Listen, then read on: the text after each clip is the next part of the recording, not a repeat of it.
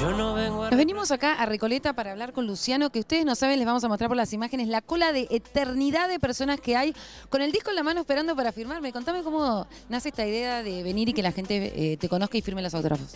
Los autógrafos no, en los discos. Los discos. Pero después de tanto tiempo es como volver al ruedo de esta manera y me emociona mucho. Después de la pandemia, la pausa en la pandemia, volver a tener la posibilidad de hacer una firma de discos en un lugar tan lindo como este, eh, volver a, a tener este contacto tan lindo con la gente de volver a firmar un disco y de manera física, que ya no sean canciones a través de plataformas digitales solamente, sino también tener el disco, tener el arte del disco, poder tocarlo, poder sentirlo, eh, para mí es una bendición. Así que estoy muy emocionado y agradecido por toda la gente que está desde tantas horas acá, eh, que se vino, que adquirió el disco, así que valoro mucho eso.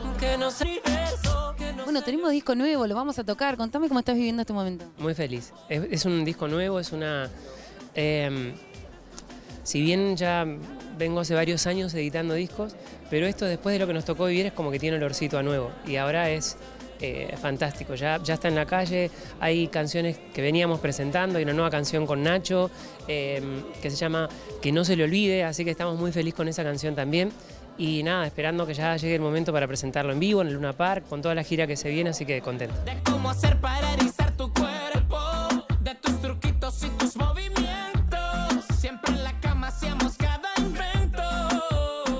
Espectacular y muy colorido en la boca. Bueno, la boca es muy colorida también, ¿no? y sobre todo la parte de Caminito, pero disfrutamos mucho esa jornada con Nacho. Eh, que Nacho se viene para los Luna Park de septiembre, se viene a cantar la canción, así que vamos a compartir un momento súper lindo ahí arriba. ¿Cómo nace esta amistad con Nacho? La música. La música se encarga de juntarnos, de, de, manera tan orgánica. Un día él llama al estudio, yo estaba en el estudio trabajando y dice, no, estoy con Luciano, le dijo un amigo de él. Y me lo pasan y digo, che, venite al estudio, hagamos algo juntos, dale, mañana voy. Así de una. O sea, y así de una también hicimos la canción eh, y estoy feliz. Bueno, con la fecha, ¿sabes por dónde vas a estar girando? No soy muy bueno con las fechas, pero sí con los lugares. Arrancamos el 9, 10 y 11 de septiembre acá en el Estadio Luna Park. Eh, nos vamos para Córdoba, vamos a estar en Rosario, vamos a estar en Mendoza, vamos a volver a Luna Park en octubre.